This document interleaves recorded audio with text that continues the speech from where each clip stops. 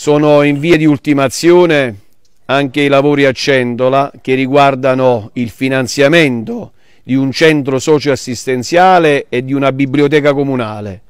Un altro obiettivo straordinario raggiunto che dà risposte concrete ai nostri giovani, ai nostri anziani, luoghi degni di tale nome in cui si possono incontrare in due ambienti distinti e separati.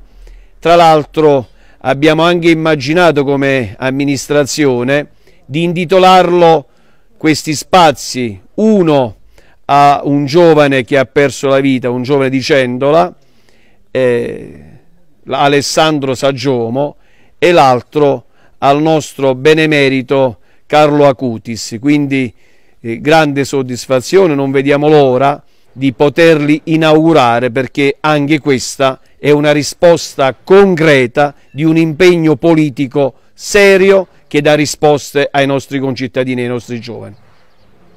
Parliamo di una struttura di circa 300 metri quadri su due livelli e noi ci auguriamo che entro il mese di giugno possiamo inaugurare questi locali per un importo complessivo finanziato dalla Regione Campania di circa 450 mila euro. Quindi l'augurio è che prima di giugno possiamo inaugurare questi locali.